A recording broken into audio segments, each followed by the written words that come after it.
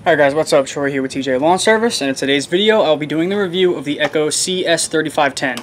Uh, just got it, haven't even used it on a job yet, but it looks like a beast. I can't wait. Um, I got a tree right there, that dead one that we're going to cut down. I got my ears and eyes for protection, and I'll show you guys what I've done so far to prepare for this job. So as you can see right here, I got a little pile of some stuff that I've cut off the back, because uh, I want to come in have it fall down this way into the yard so I can cut it up. Now right back here, you can see I cut off some branches so I can get in here. I want to cut it as low as I can. Um, I may cut some more over on this side. I'm watching for that rope uh, because this is not going to be a stump removal job. It's just cutting it down as low as I can go. Uh, so let's get to it. We'll see how this thing works.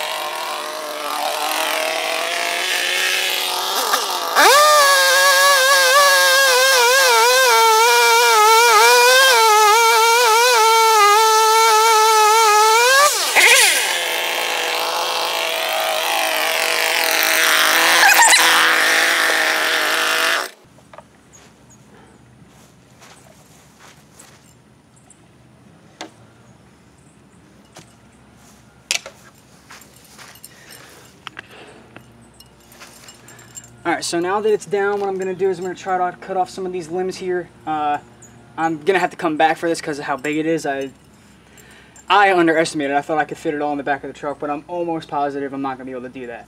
I'll cut off what limbs I can, get what I can in the back of the truck. Uh, my dump trailer I do have some room in, so what I'm to do is I'm just to transfer it all in there. Um, once all the limbs are off, I can cut it up into small little pieces, uh, and we'll go from there. I'll record that part.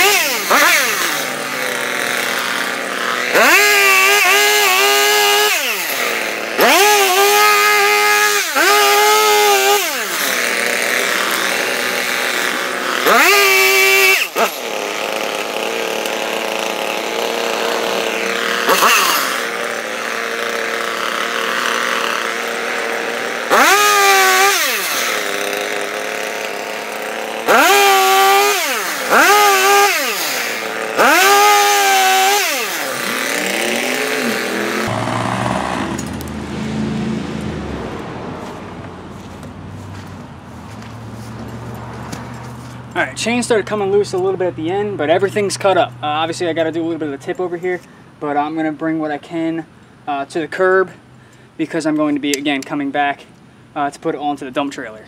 But hey, this thing cuts like a beast.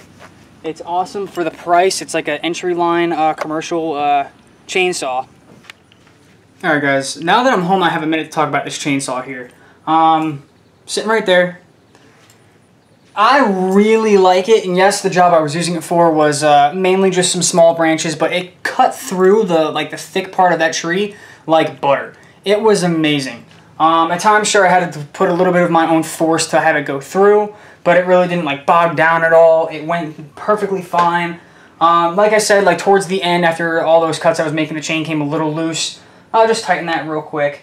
Um, I don't really have any major complaints about it. I think it's it's very lightweight. It's an awesome freaking machine. Um, I couldn't recommend it enough. There, obviously, it's brand new, so there's not many reviews about it. I was skeptical about it. Uh, obviously, it's a step down from, I believe, they have the 4510. Um, for the price and the power, guys, I can't recommend it enough. I think it's a great unit. Uh, you guys are probably going to love it for yourselves. If you need it, you know where to get it. Thanks for watching. Well, now you know.